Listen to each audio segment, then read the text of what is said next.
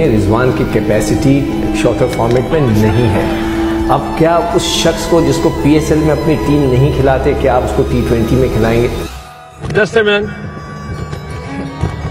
now